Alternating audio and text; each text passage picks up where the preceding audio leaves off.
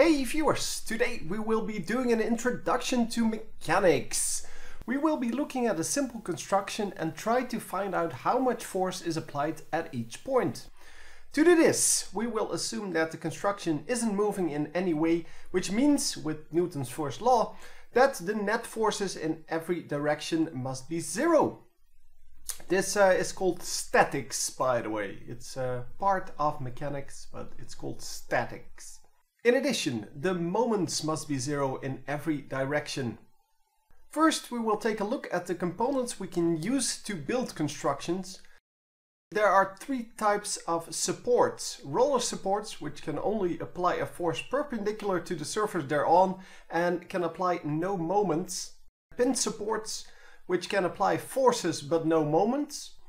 Built-in supports, which can provide forces as well as moments. Outside of these supports there are several construction components, but we will limit ourselves to two. The beam, which can have forces and moments applied to it in all directions, and the rope, which can only have a force applied to it in the direction of the rope and only outwards. Finally, we have the outside worlds, which is technically not a part of the construction, but nevertheless very important.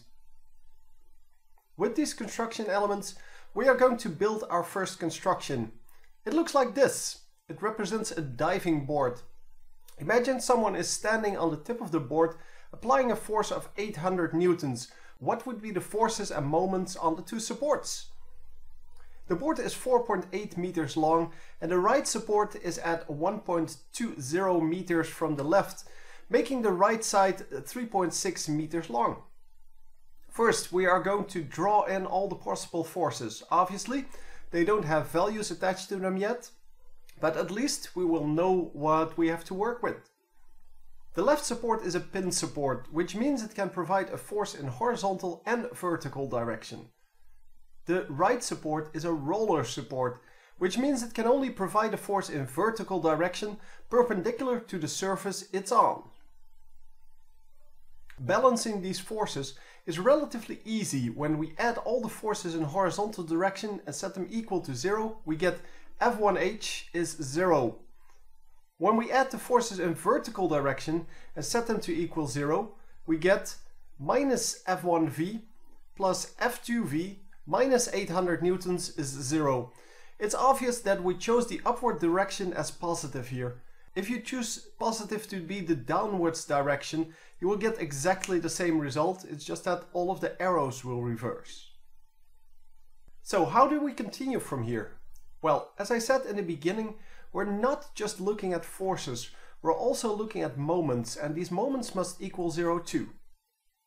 A moment is a force times the distance to the rotation point. In this case, we can, for example, take point 2 to be our rotation point.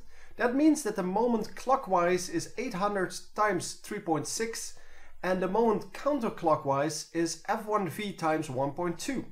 To clarify, since the distance of f2v to point 2 is 0, the moment is also 0. The net moment needs to be 0, so 800 times 3.6 minus f1v times 1.2 is 0. From this, we see that F1V is 3 times 800 is 2400 newtons. Since minus F1V plus F2V minus 800 is 0, as we saw before, we get that F2V is 800 plus 2400 is 3200 newtons. But what if we had taken point 1 as a rotation point? Clockwise, we would have had 4.8 times 800. Counterclockwise, we would have had 1.2 times f2v. The sum of these two needs to be 0, which gives 4.8 times 800 minus 1.2 times f2v is 0, resulting in f2v is 4 times 800 is 3200 newtons, which is the same as we saw before. With minus f1v plus f2v minus 800 is 0, this gives F1V is 3200 minus 800 is 2400 newtons. The exact same result. In fact, it doesn't matter which point we take. We can take whatever point we want. Some points are just smarter choices than others. Anyway, I hope you learned something today and I will see you next time.